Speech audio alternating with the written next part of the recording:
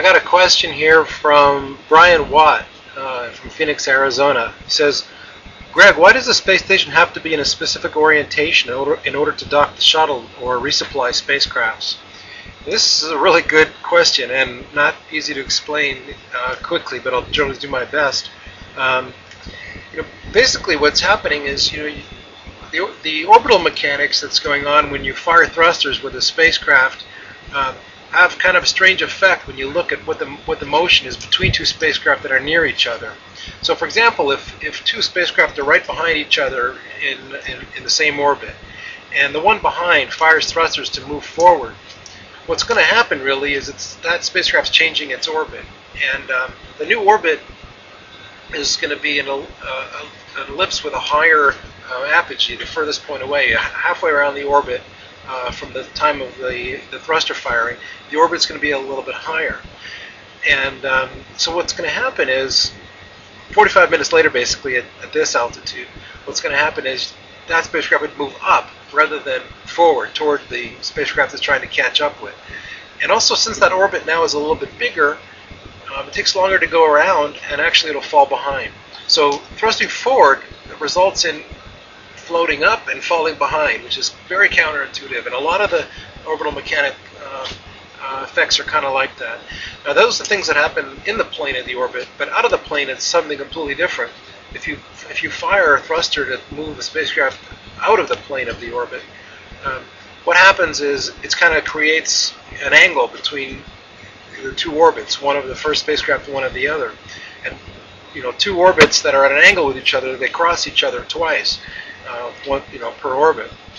So what actually would happen is the spacecraft would move out of the orbit to the side, and then half an orbit later come back and cross over again, go to the other side, and then half an orbit later come back and, and cross again. So these are kind of weird things to take into account when you're trying to manually fly a rendezvous or even automatically fly a rendezvous. Um, the in-plane motions and the out-of-plane are, are, are different from different uh, effects from each other. Uh, but there's a couple of places in, an, in that you can be relative to other spacecraft where you can stay for a while and have it not cost you fuel.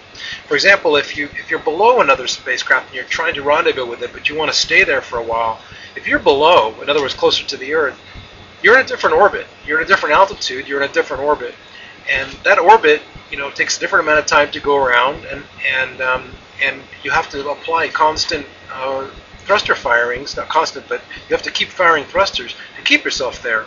So that costs you energy. Uh, one place for sure you can stay relative to another spacecraft and not have it cost you any energy to stay there is right in front or right behind in exactly the same orbit. And so these are really good places to approach from because um, if something goes wrong, or when the shuttle approaches, if something goes wrong, or you want to check that everything is right right before you you know finally do your final maneuver to come in, you can have time to stay in that place for a while and not have it cost you a lot of fuel to, to, to stay there. So that's one of the main reasons uh, the shuttle approaches uh, from that side. Theoretically, you could approach from any angle. Um, and for other reasons, um, it's helpful, you know, if you can stay in the plane, in the orbit plane, um, you minimize, uh, you know, coupling between axes. Other factors have to do with firing thrusters that uh, might impact um, parts of the spacecraft. You know, for the space station with solar arrays, we don't want to impact the arrays with um, with uh, the, the, thrust exhaust, from, uh, the plumes from the thrusters. So a lot of things combined, but um, essentially it helps to keep things in the orbit plane, and especially from the, in the front and in the back.